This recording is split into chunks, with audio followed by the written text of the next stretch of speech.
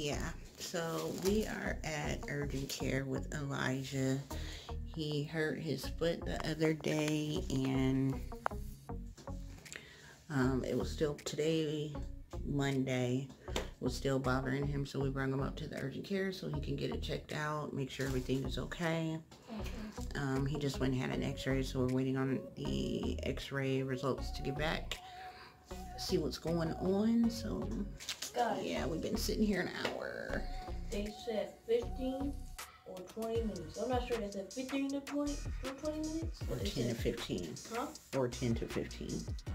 Well, I heard 20. I was getting mad. And I'm hungry. And we gotta pick up Yeah, because we hadn't been, we I picked him up from school and then we haven't been home yet, so he's hungry. Steve is off of work. We have to go pick him up. Like he's waiting because his job is closed now. And we still have to go, like, go pick him up, which is like 20 minutes, 20 minute drive away. So, but yeah, he hurt his, um, not this foot with the shoe on it, but his left foot. He had a sock off, but his, his foot got cold, so we put his sock back on. So, um, yeah, I guess we'll come back when we find out what's wrong with it. Let y'all know. When we this, it's gonna be so short for y'all. Bye. Bye.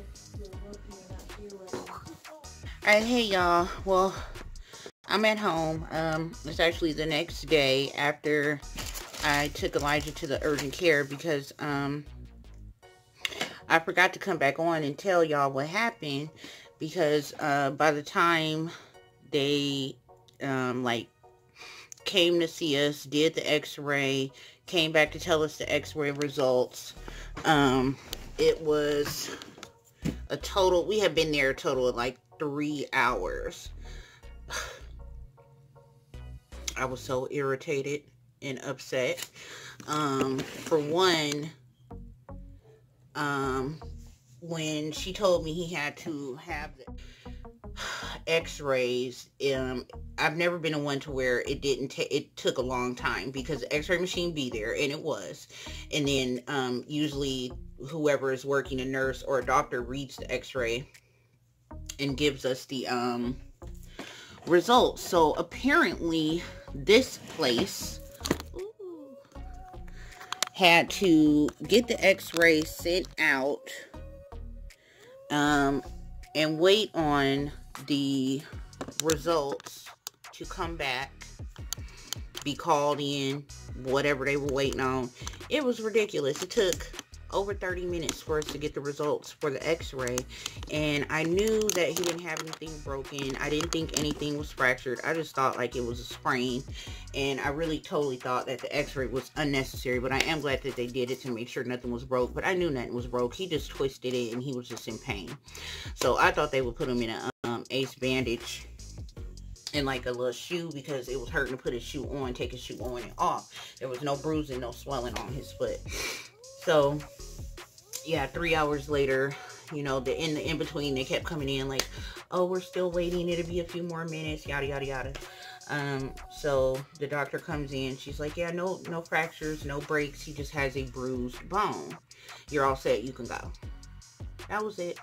No prescription, no ace bandage, no wrapping the foot, no shoe, no sorry.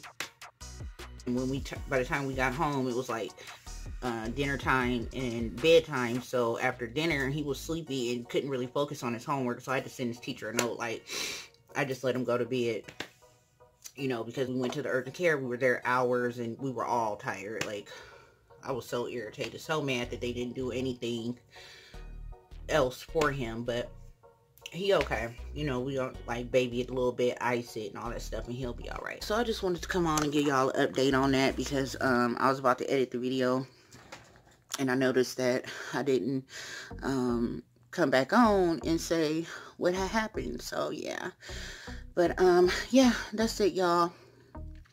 I am about to do some cleaning in my room, and um then get ready to go get Steve from work. Um, Elijah has some homework, so probably help him with that. And that's about it. So, yeah. All right, I'll talk to y'all later.